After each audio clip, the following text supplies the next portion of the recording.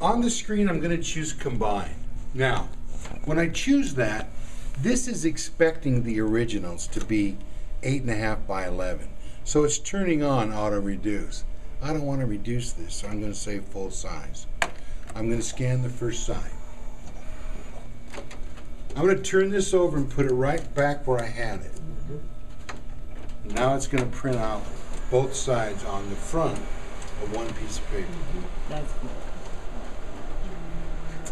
That. So there it is. Oh, yes. Okay. I like Just that. remember to turn off uh, auto reduce enlarge, then it won't reduce it. It'll do it at hundred percent.